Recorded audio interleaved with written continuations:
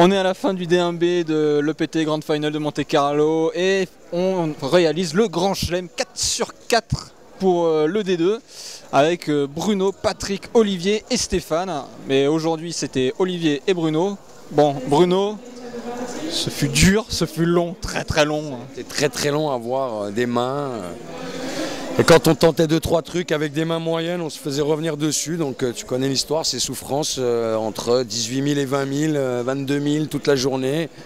À un moment donné, par miracle, j'ai réussi à grinder jusqu'à 26 000 pour redescendre à 18 tout de suite derrière.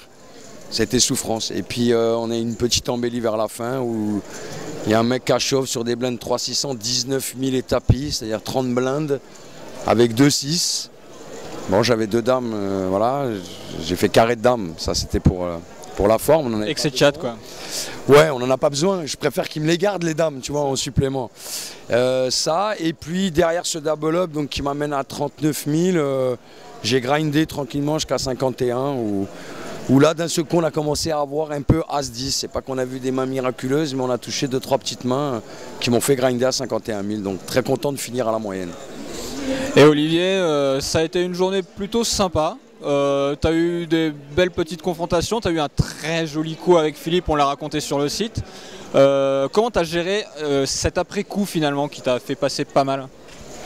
Euh, ben, je l'ai pas trop mal géré. Euh, bon, j'ai eu tendance peut-être à suivre un peu trop de temps en temps parce que bon, j'avais plus de jetons pour jouer, donc euh, peut-être je suivais un peu.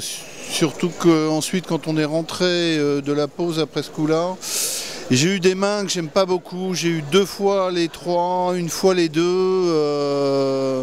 alors oui, on call, mais après, pour les jouer, si on voit pas un brelan ça devient très compliqué, surtout quand il y a des grosses cartes au milieu. Bon, après, moi j'ai navigué entre, entre 40 000 et 60 000, et euh, bon, je finis à 48. Euh, ça va. Mais non, je suis plutôt content de ma journée, j'ai pas, pas trop souffert. Le bilan des D1 est quand même plutôt pas mal. Comme je disais, 4 sur 4. Euh, Plus, voilà, 4 sur 4, on va dire. Mais on n'a pas vraiment un gros team leader dans l'équipe. Hein. Mais justement, euh, Bruno, justement, tu te faisais euh, interviewer par euh, la télévision, enfin je sais pas, Poker Stars Live, quelque chose comme ça. et, justement, on demandait si tu étais justement en rush, si tu avais, si avais bien un rush. Donc tu as fait table finale à Madrid, on s'en souvient.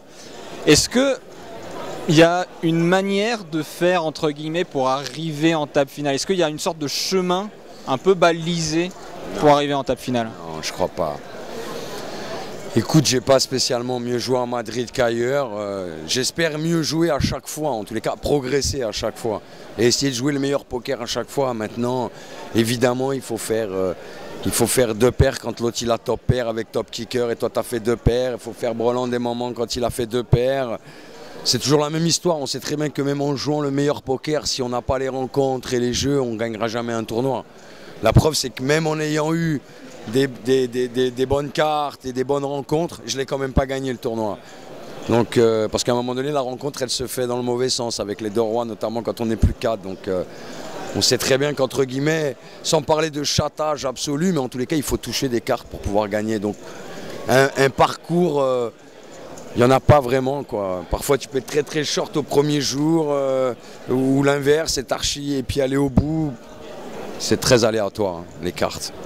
Donc on espère qu'il y aura la chance au rendez-vous euh, pour le D2 pour les 4 membres et pourquoi pas 4 membres au D3 quoi. C'est ce qu'on ce qu'on souhaite à Poker Leaders, non déjà, On va essayer de faire. Ça ce serait déjà une autre performance que 4 au D2. C'est déjà bien 4 au D2 mais 4 au D3 ça commence à être sérieux.